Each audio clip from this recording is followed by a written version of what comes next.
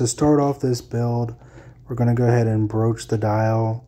And I like to use this triangular shaped file.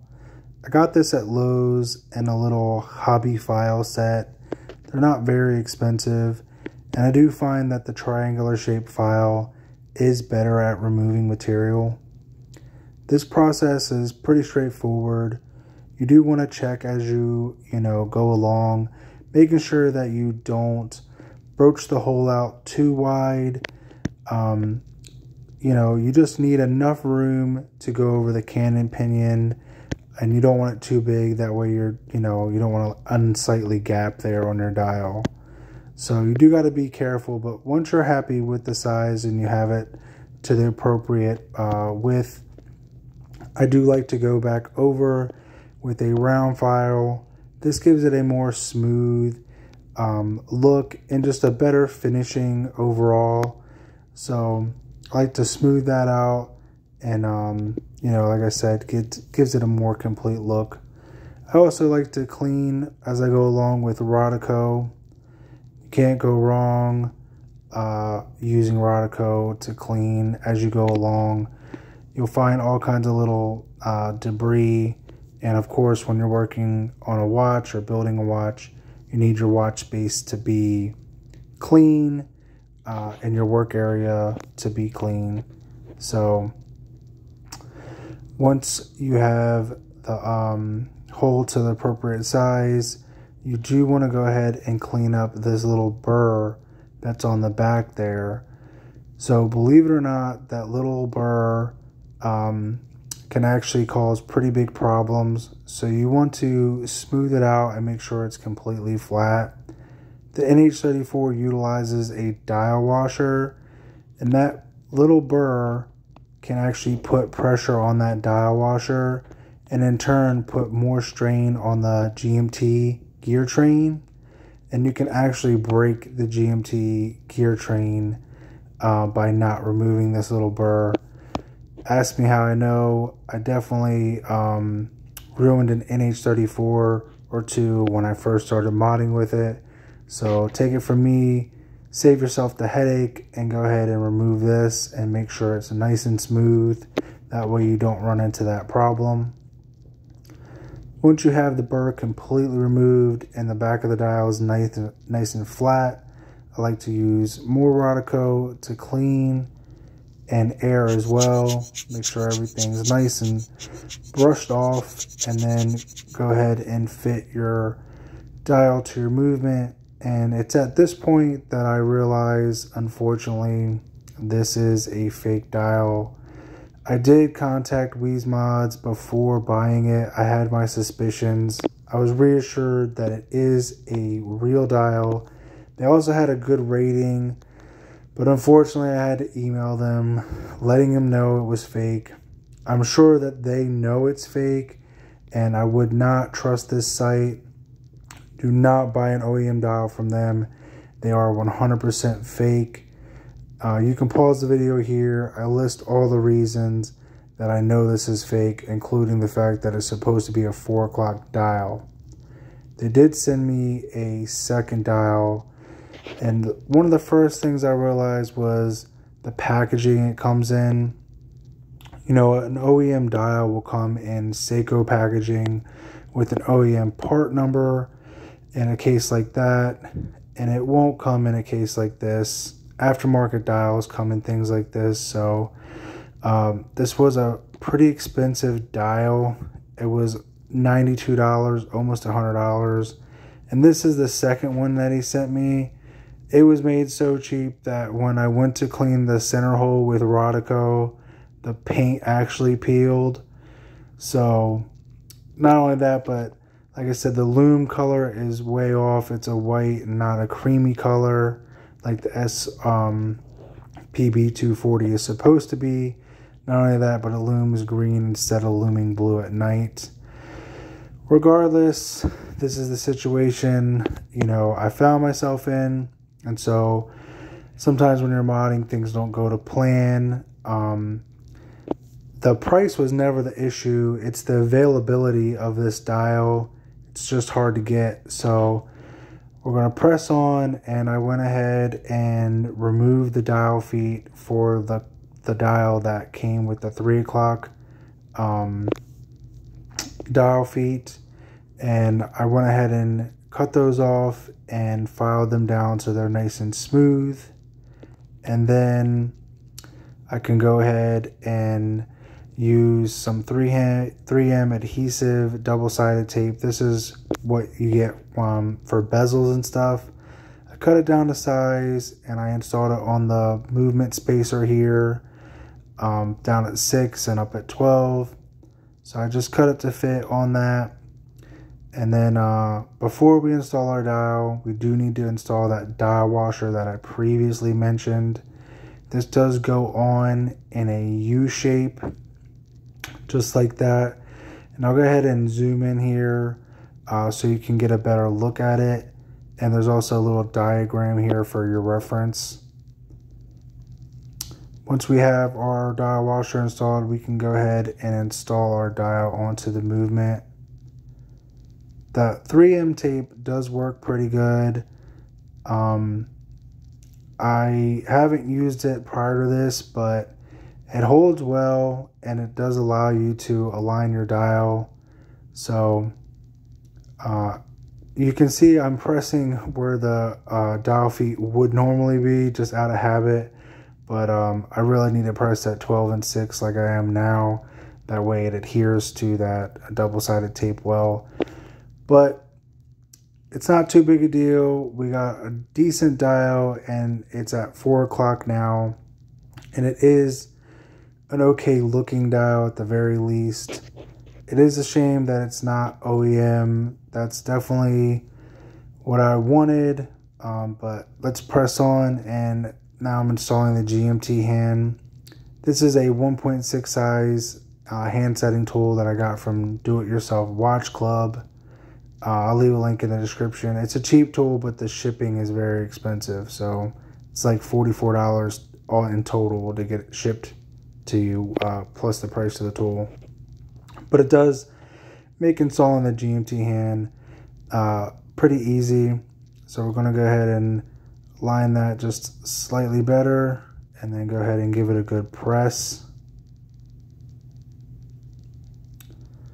And now we can go ahead and look from the side profile and make sure that the GMT hand has clearance for the indices.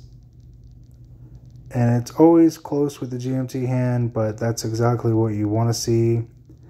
Uh, you want it to be as close to the indices as possible without touching. And here are OEM SPB 240 handset. You can kind of see what I'm talking about with that lume color. It's more of a cream. And as I mentioned before, it lights up blue at nighttime. So these are OEM hands. I got them from watchpartsplaza.com. I'll leave a link in the description to these hands as well. They're really nice. They have a bevel in the center and they are polished and brushed so you got good contrast no matter what type of lighting you're in. And I really like this handset so I think it's to look really good. So now we're to go ahead and install the hour hand very similar process. I use Rodico to hold it and then I use my hand setting tool to get it set. So the Rodico makes it easy to align with the indice and then you can go ahead and press it on. Once you have it on, um, you know, you can go back over and, um, you know, give it another firm press to make sure it's firmly seated and that the hand is fully installed. Once I'm happy with that, I go ahead and check from the side profile to make sure the clearances are looking good and that the hand is straight. And it looks great to me. Happy with how that looks. And now we're going to go ahead and set our hour hand to 6 o'clock. I find this a lot easier to make the hands aligned properly when you set the hour hand to 6 o'clock and then put the minute hand at the 12 o'clock marker. And it's the same uh, process. We're going to go ahead and clean the hour hand a little bit first before we install the minute hand because once we install the minute hand we won't have access to the hour hand anymore. Not at least not cleanly. Um, so now that I've given it a little clean we can go ahead and install our minute hand here. And like I said it's the same process except this time I use the red side of my Bergeon hand setting tool instead of that gray side. All that does is ensure that when I'm pressing on the hand, it doesn't slide too far down the cannon pinion and actually come in contact with the hour hand. So if you order a Bergeon hand setting tool with gray and red, you will definitely be able to install your hour minute hand no problem. And like I said, I like to use that gray side for the hour hand and this smaller red side for the minute hand. Because um, no matter how hard you press, you can't really mess it up because it, it won't let you go too far down on the cannon pinion. So that's a that's a nice tip to know. Uh, so we got our minute hand installed here now. I'm going to go ahead and give it a clean as well. Just make sure it's um, doesn't have any smudges. And again, check from the side profile to make sure our clearances are good and that the hand is straight. Now we can go ahead and check our hand alignment. Of course, you want to check all the cardinal positions at 3 o'clock. And we're going to check at 12 o'clock. In this case, we want to make sure that both hour and minute hand are lined up perfectly, and our GMT hand at the 6 o'clock position as well, which in GMT time is 12 o'clock noon. So now we're checking at 3 o'clock. And then we're going to check back at 6 p.m. and make sure that our hands are lining up beautifully, and they are. And again, we want to check that um, GMT hand is right in the middle of the 9 o'clock marker. Once we're happy with that, we can go ahead and install the seconds hand. So this is the way I like to do it now. I have this cheap hand setting tool. I put a piece of Rodico on that and then I put the seconds hand on that little piece of Rodico. And this gives me more control and enables me to get the seconds hand right on that tiny little pinion every single time because I can see exactly what I'm doing. So go ahead and press that on and we have our seconds hand installed now and uh, it just makes it much easier to install the seconds hand that way. So now I'm just checking from the side profile to check all of our clearances and make sure that everything's looking good. And now I'm going to go ahead and put a decent wind into the movement. That way it starts up and we can go ahead and make sure the seconds hand is running under its own power. So you can see it started up there. And I'm just going to go ahead and let that run for a second and make sure that it can run over the minute hand under its own power and it doesn't come in contact with anything as it's going along. So I'm going to go ahead and check from the side profile here and make sure that it goes right over that minute hand. It has plenty of clearance. And again, that it's running straight and true and uh, it's not coming into contact with anything. Now that we have our movement side of things complete, we can go ahead and move on to the case. This is a chapter ring from DLW watches. The case is from DLW as well. And this chapter ring matches this this dial perfectly. It's got that brush dark chocolate uh, brown look to it and it matches perfectly. The good thing about this chapter ring is it has no marks on it because our dial has marks on it. So we don't have to align it with anything and there's actually no tab to align it either. So we're going to go ahead and give the case a decent clean here just give it some air, make sure there's nothing, no little dust particles in there. So go ahead and give it a clean. Something I do want to point out uh, here is on the crystal gasket. I actually don't think I've even seen anybody point this out, but there is a right way to install these. I don't know if you can see it. Hopefully you can, but right on the top there, there's a little bevel edge. And when I flip it over, you can kind of get a better look. See, there's no bevel at the top there. And I'll flip it back over and uh, give it some contrast here. And hopefully you can see the light gleam off of that little bevel edge there. Yeah, you can see it pretty good from this angle. See how the light follows that beveled edge? That's the side we want to install the crystal gasket because that bevel is going to make it easier to install our crystal. So we want to put it with that bevel edge up. I just uh, push it past the case and then let it kind of uh, backfill itself in. So that's how I install the crystal gasket there. Then we're going to do some more cleaning because you can never clean too much. So get out any dust that could potentially be in there and then we're going to go ahead and open up our crystal. This crystal is from Namoki's. It is a double dome sapphire with clear AR coating on it. And when I open this up, I'm going to try to uh, put it right on the case and give it no chance to get any kind of dust or anything under it. So I'm going to get it set on the case there and then we can go ahead and install it. So I use a 31 uh, millimeter size die on the top and I think a 42 millimeter die on the bottom. Uh, this crystal press is from eBay. It works pretty well, and I'll leave a link to that in the description as well.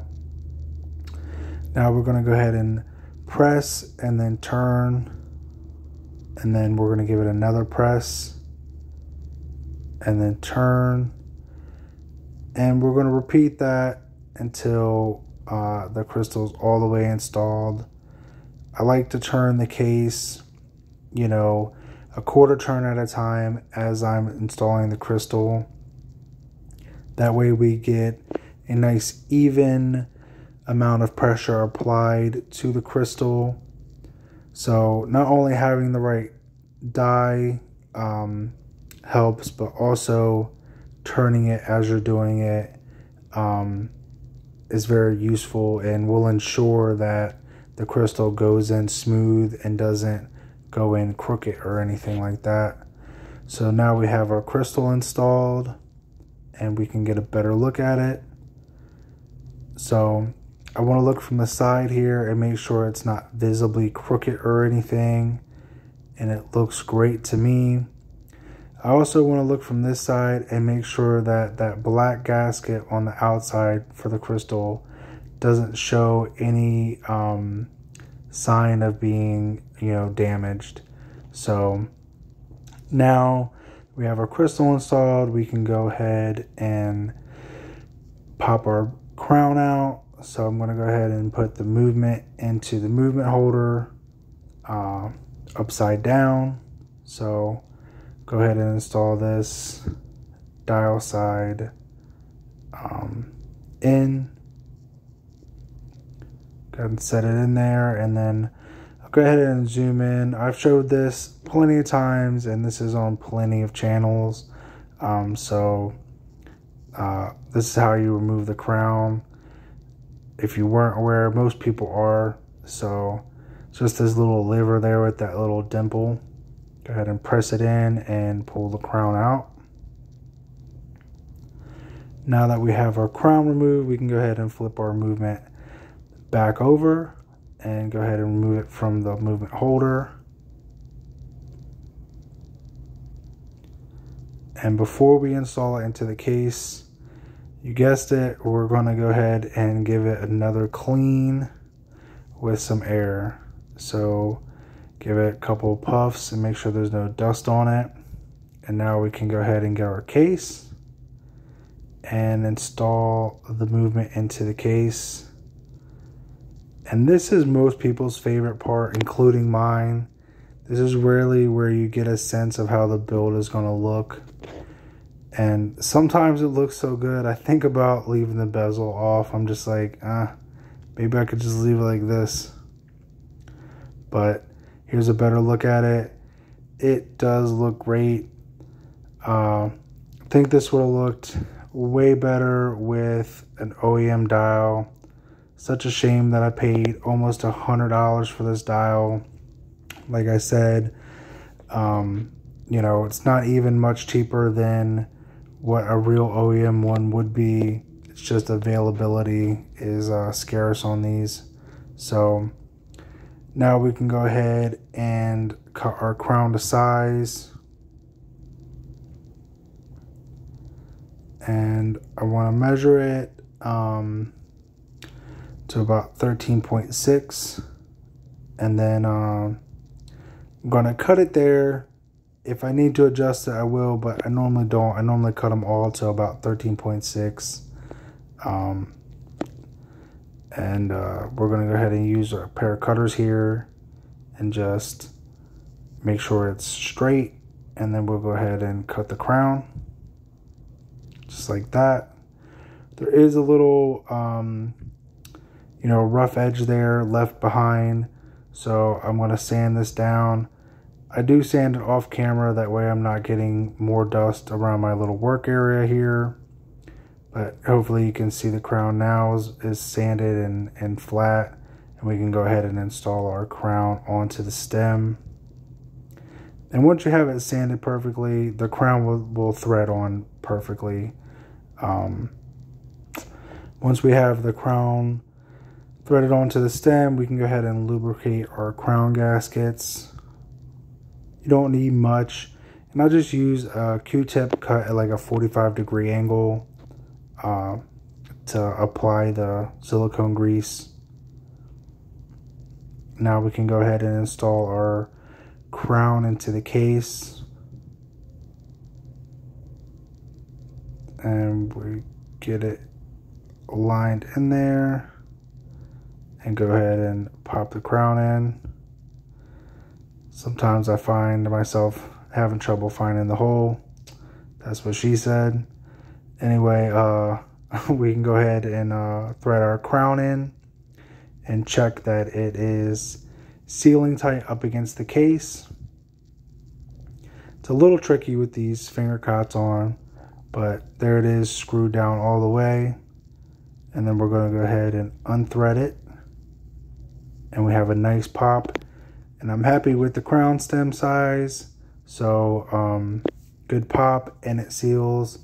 So uh, like I said, normally 13.6 is about the area you want to be in. But now that we have our crown installed, we're going to go ahead and recheck all of our functions. So pull the crown out all the way to the time setting position and recheck our hand alignment at 6 o'clock, then we'll go ahead and pop the crown back in and make sure that it's running uh, correctly. And then uh, we can go ahead and thread our crown back down.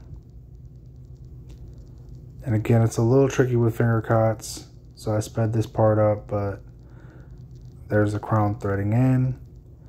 Decent crown action. You know, it's uh, pretty good when you can operate it with finger cots on. So now we're going to go ahead and lubricate our bezel gasket. In this case, because it is going to be a bi-directional bezel, I'm not installing a click spring. So we're going to go ahead and uh, get the other press here I used to use this for crystals, but like I said, I use that other one because it gives more control. But I still use this one for bezels. And I pop that on. Nice positive click. You want to hear when it's fully installed. And this is an LX style uh, bezel. And I'm calling it now that Seiko is going to release um, a GMT that's going to look kind of similar to this one in the future uh, with uh, an LX style bezel, an MM200 style case, and this kind of dial as well. But I go ahead and pop the GMT bezel in. That way we can get a decent look at how this whole build is going to look. And it is coming out great. I wish that dial had that cream color lumen as well because it would have tied into this bezel insert perfectly. Go ahead and realign that just for for mock-up and we'll go ahead and take a closer look at it. So this one is pretty good. You can see there's still a little lip between the bezel and the crystal. So when we install the, the uh, bezel all the way, I'm going to use two adhesive rings. This one's not too bad. Sometimes I have to use more adhesive rings to bring up the bezel to the crystal. So we're going to go ahead and install this first one here. Just peel it off. And I use tweezers because it does give you a little more control when you're installing it. Um, so get it aligned good. Go ahead and uh, make sure that it's not touching the crystal. So I go ahead and just go all the way around with it. And then we can uh, make sure that it's adhered all the way around the bezel. Just give it a nice firm press a couple times around. Make sure it's, you know, fully adhered. Then we can go ahead and peel this top portion of the 3M adhesive ring off. Go ahead and get that out of the way. Then I'll just go ahead and back in here and kind of dab these little spots so they're nice and flat and they're, they're filled in nicely. So there we go with that. And like I said, we're going to install two of these because like I said, as I was looking at it with the bezel insert installed, I figure it needs about two of them to be the perfect height where you get a good transition from crystal to bezel. So we'll go ahead and install our second one and it's the same thing go all the way around it make sure that it is um, you know fully adhered and then we can go ahead and peel this top layer off. It's a little tricky sometimes. Got to get that out of the way. Now we can go ahead and install our bezel insert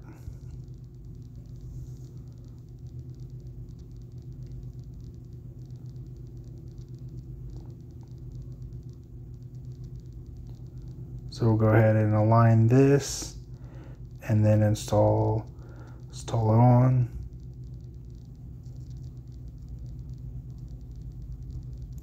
Give it a nice firm press make sure that it's, um, you know, fully adhered. And here's what I was talking about. You can see now that there is a seamless transition. It's so smooth you cannot even feel it with your finger. So that's the kind of transition I'm looking for. I know I say it a lot, but it is an important detail. So this build is almost done, but we are going to go ahead and install an aftermarket rose gold rotor. And I don't think I'm going to install any more uh, aftermarket rotors. I'll talk about that a little more in a second, but we're going to install that. And I also have a display sapphire case back, the slim version. So should take away some of that thickness as well. So we're going to go ahead and remove the case back here so we can gain access to the rotor. As I was talking about, um, you know, recently I did that Batman GMT mod and it also has an aftermarket rotor. And when you line the rotor up, you'll see that there's a little dot on this gear and it lines up with this post on the balance bridge. And Seiko says when you remove the rotor, uh, that dot should line up and when you reinstall it, it should line up. And you can see every time that I align the rotor up, no matter how many times I spin it around, that dot lines up with the, the post on the balance bridge. And when you install an aftermarket rotor, that dot no longer stays aligned after you rotate the rotor around. So we're going to go ahead and remove it and I'll show you guys what I'm talking about. When I realized that, I did a little experiment just on my own. Wasn't the most scientific, but I put a watch on with the aftermarket rotor and I put one on with a factory rotor. I did not wind them because I wanted to just test the winding efficiency. So I didn't wind the movement with the stem at all. I just let the rotor wind it for a few hours. You know, I just put them both on, one on each wrist, and wore them for the same amount of time. I took them both off, and the one with the factory rotor did, in fact, run longer by a few hours. Now, the aftermarket rotor still does wind the movement, and if you're you're active, you probably won't even notice a difference. You know, I wore them both for about four hours, and both of them ran for over a day.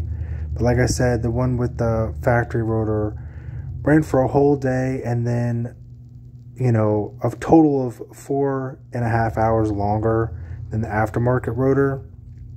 So that's just something to take into consideration. So now you can see I'm installing this uh, rotor on here um, and I'm going to show you that the dots are in fact aligned when I install this rotor um, but as I spin it you'll see that the dot is no longer aligned. So when you install an aftermarket rotor you will no longer have the full efficiency of the winding rotor so you can see as I turn it around the first couple times, that dot does line up with the post. But as I continue to turn the rotor, I'll go ahead and show you the dot is no longer aligned. So, and it gets worse the more you spin it. You can see how far the dot off is now. If we spin it backwards, it does kind of try to realign itself, but you know, this is a bidirectional winding movement and like I showed before, no matter which way you turn it, it should line up. So, you know, just something to consider when you're installing an aftermarket rotor. I will be doing a, a full separate video on that um, so people are aware that when you install one, you no longer have the full winding efficiency. Um, are rotors that have no ball bearing pre-installed and they make use of your factory um, ball bearing and winding mechanism. So that is something that I might consider on using in the future. Um, but for now I'm just gonna you know kind of not use aftermarket rotors so much. So I already lubed up this case back gasket with silicone grease got that installed here and now we can go ahead and install our Sapphire display case back. So this is a slim case back from Namoki's.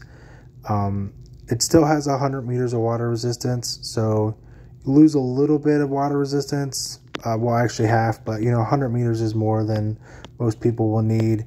And I think it's a fair trade-off because it does make it a little slimmer. Speaking of, I am going to try to use a slim bezel and crystal from the Namoki's on a GMT. I'm not sure if it will work or not, uh, but I will test that in the future. Uh, when I install the case back, I do like to use a plastic bag over the case back. That way, when you're tightening it up, the case back tightening tool doesn't slip off and scratch your case back. So that's a pro tip right there. Um, now, I'm just, you know, going over it one last time. I'm checking the crown functions and uh, the quick set on the date. So I have it pulled to the first position here. And I'm going to go ahead and check the quick set, like I said. And I'm also going to go ahead and recheck the jumping function of the GMT hand. So we're going to go all the way around the dial, making sure that it jumps by hour increments and that it's, you know, lining up with all its um, corresponding spots. Go ahead and set it back to 12. So it's, um, you know, set to the same as our local time. And then I'm just going to pull the crown out all the way to the time setting function and we just check everything and check the natural date change as well. So just rechecking that it changes over on its own and it changed right at 11:45 so about 15 minutes before 12 which is within the you know reasonable window of date change. So happy with how it looks. All the hands line up. The watch is running great and it looks great. Um, so really happy with how this turned out regardless of that dial situation and although the aftermarket rotor doesn't wind as well, they do look great. So now go ahead and screw the crown back down. Crown operation is great, much easier to screw in without finger cots on and uh, you know seals up nice and tight. So I am to throw this on a single pass khaki NATO with bronze hardware that matches and uh, think it looks great. Single pass, a little thinner. But thanks for watching, guys, and I'll catch you in the next one.